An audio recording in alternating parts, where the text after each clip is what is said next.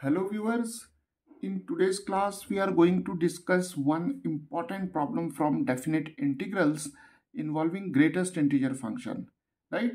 So here uh, we have to evaluate this integral uh, which is from 0 to uh, square root of 3 and the integrand is uh, greatest integer of x square minus 1, right? So here the limits of integration varies from uh, 0 to square root of 3 right?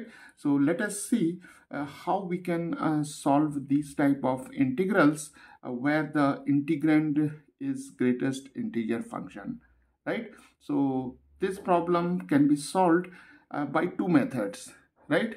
The first one is uh, uh, by method of substitution and the second method is by method of inequalities right? Or we can say by directly using the definition of greatest integer function right? So here uh, we'll prefer the method of inequalities right? And we'll also uh, make use of the definition of greatest integer function uh, to redefine this uh, uh, integrand right? So let us start and let us first call this integral as i right? And here x varies from 0 to uh, square root of 3 and uh, let us take f of x is equal to uh, the greatest integer of x square minus 1 right? So here uh, we have assumed that the greatest integer of x square minus 1 is uh, equal to f of x. So our integral it reduces to a 0 to square root of 3 and here we have f of x dx right? Okay now uh, let us uh, redefine this function f of x, right? For this, uh, what we will do, uh, we'll first take the, uh, uh, the lower limit, right? And then we'll take the upper limit, right? So when x is equal to 0, then what is the value of f of 0, right? So we'll find out the value of f of 0 by taking x is equal to 0. So here we have uh, greatest integer of 0 square minus 1 that is greatest integer of minus 1 and we know that the greatest integer of any integer is the integer itself. So here we have minus 1 right? Now let us take x is equal to square root of 3 so we have f of square root of 3 is greatest integer of square root of 3 square minus 1 and here we have 3 minus 1 so this is greatest integer of 2 and that is equal to 2 right? So we see that uh, when x uh, varies from uh, varies from uh, 0 to square root of 3 right? So the limits of integration varies from 0 to square root of 3 then uh, the integrand the integrand f of x it varies from it varies from minus 1 to uh, 2 right? So let us uh, uh, represent uh, these two numbers on the real number line right? So here we have minus 1 and here we have 2 right? And we see that uh, between minus 1 and 2 uh, we have two integers 0 and 1 right? So this is a very important step uh, while uh, evaluating these type of uh, integrals. So we have two integers between minus 1 and 2 right?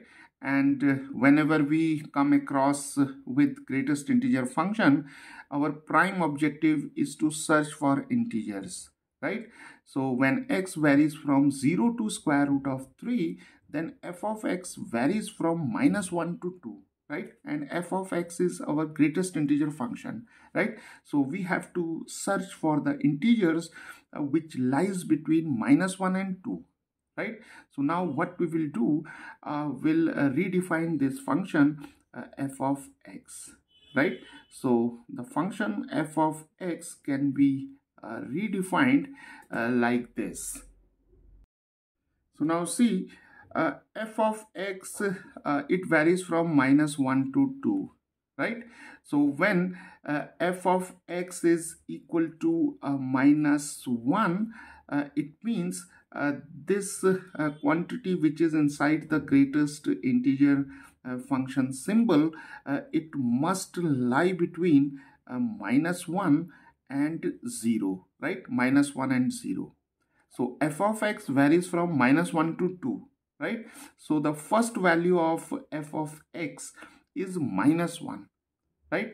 And f of x is equal to minus 1 uh, whenever x square minus 1 it lies between minus 1 and 0 this is due to the definition of greatest integer function right?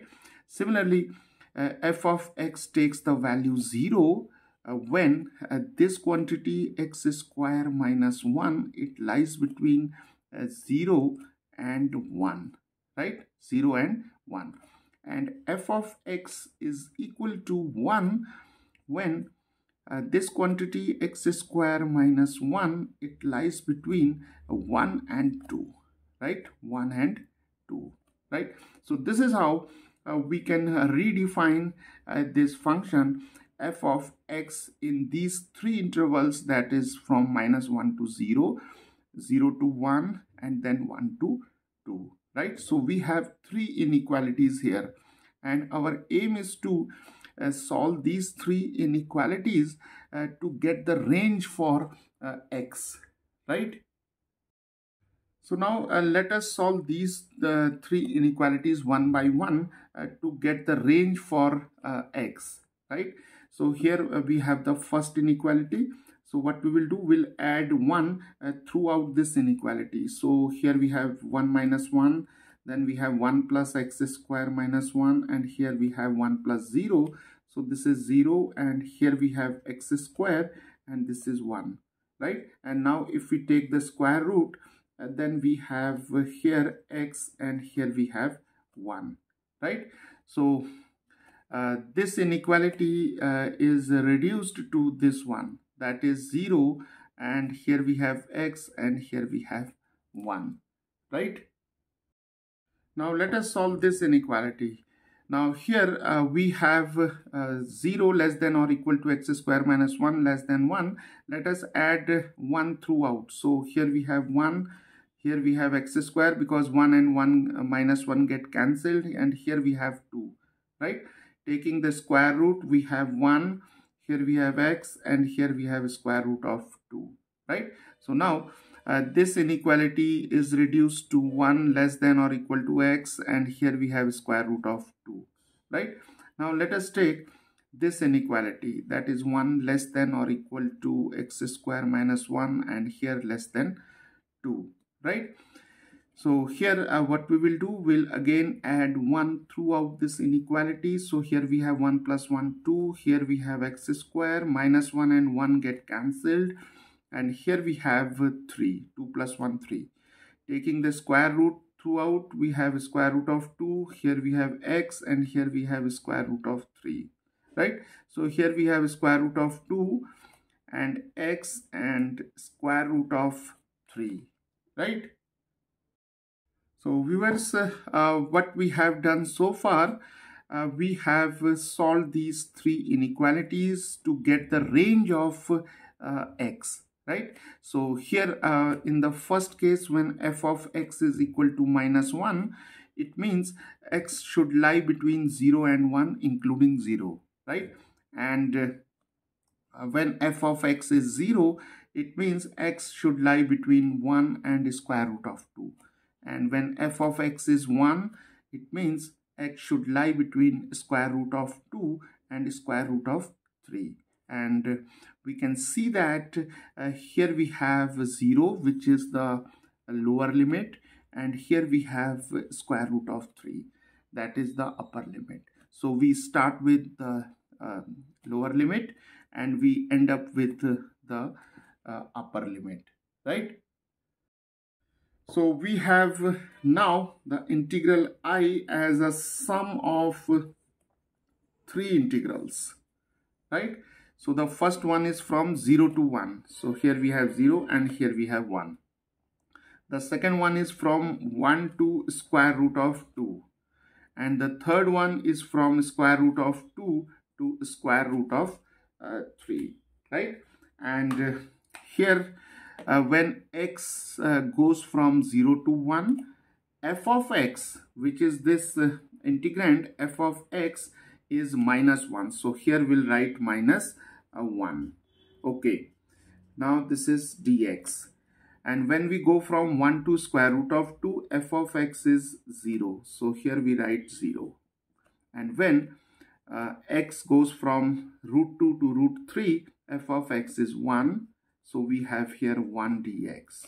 So now we have three simple integrals and uh, uh, this integral is 0 right? Because here the integrand is 0 so we have now uh, integral 0 to 1 and minus dx and this integral is 0 and we have here uh, root 2 to root 3 and this is dx right?